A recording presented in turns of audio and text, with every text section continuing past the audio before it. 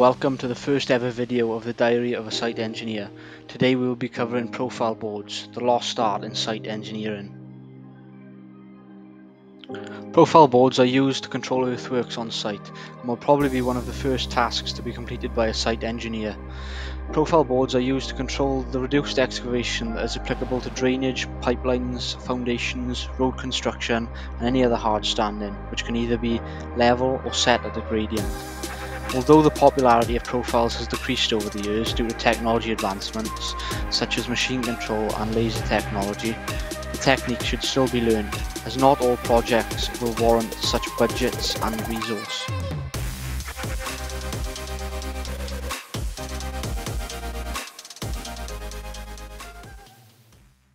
When installing profile boards, as a minimum you will require two profiles and one traveller.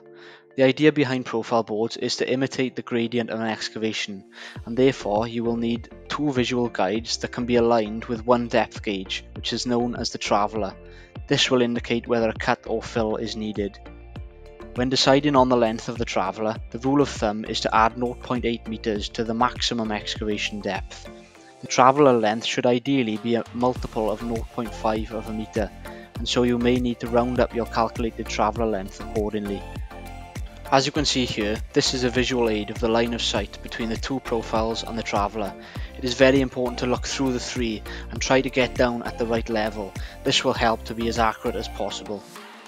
Profiles can be used very easily on flat excavations, but can also be applied in more complicated scenarios. As you can see here, profiles can be used to set out crossfalls in multiple directions.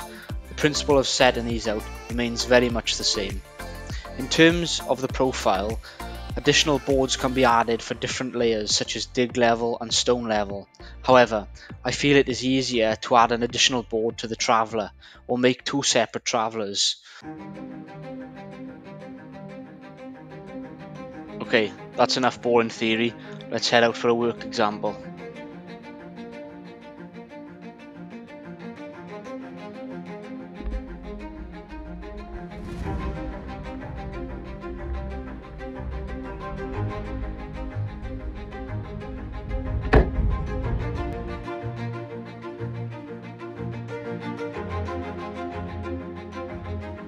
Identify the excavation zone, ensuring to offset your pegs either side of the proposed dig area.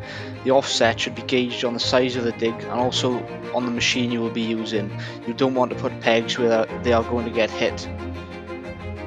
If the dig spans a large area, you can position profiles adjacent to the dig with offsets.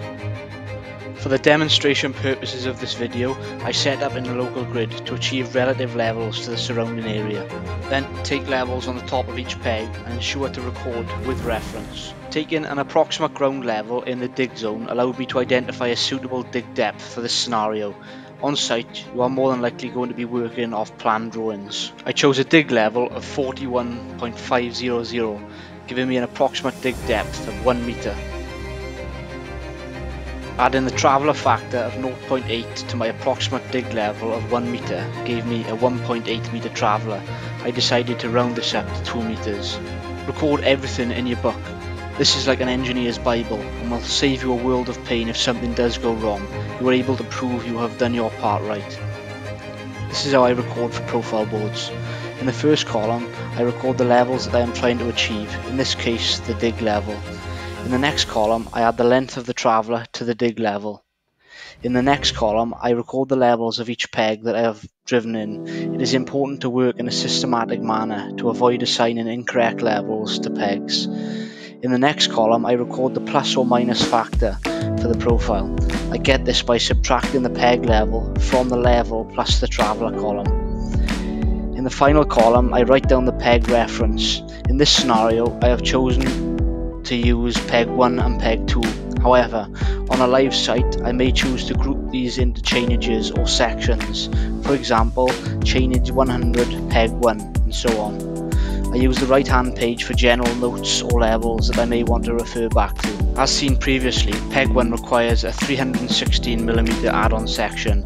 This is where I would make a T-section and put a nail full depth at 316mm. I would use this to set the profile on the peg and then drive two further nails lower down to attach the T-section to the peg. I would then repeat the process for each peg.